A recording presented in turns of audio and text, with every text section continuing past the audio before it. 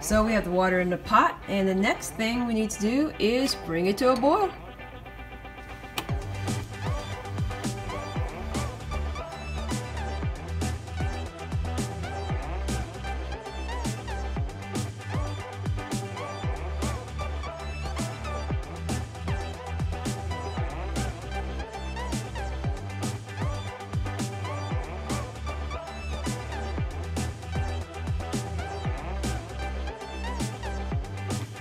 Right now, Gardener Jerry is using a muddle. He's doing this to bruise the mint leaf so when we put it into the water to boil it to make the mint tea, that we'll get all the flavor out of the mint and the tea will be super good. Go ahead and uh, pass on the muddle to Gardener James so he can get a turn with his uh, mint.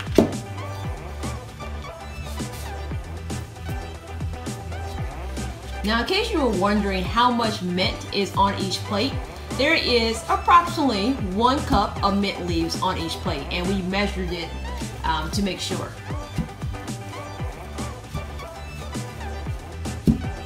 We had a few extra leaves, um, a little, like a few extra leaves more than two cups, but that doesn't hurt.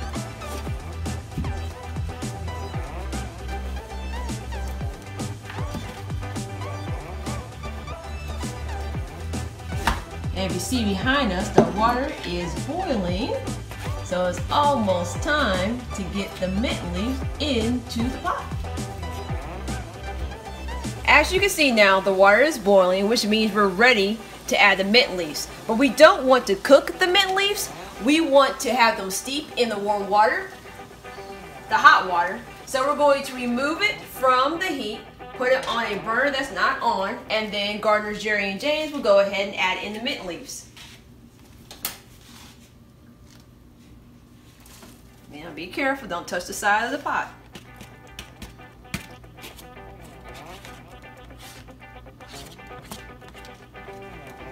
Add yours in.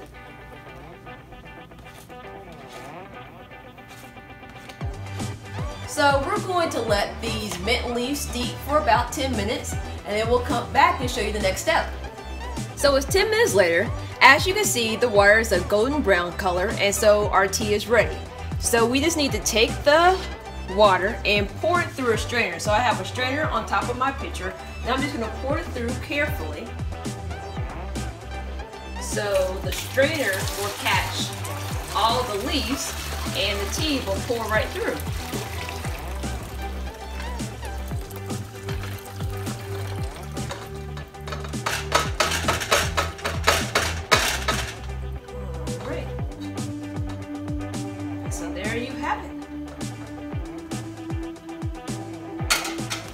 And once this cools down, we'll add a little honey to it and then we'll taste it and let you know how it tastes. So Gardener Jerry and Gardener James, it's the moment of truth. We have worked very hard to make our mint tea and now it's ready for you to drink. So go ahead and drink it and tell us what you think.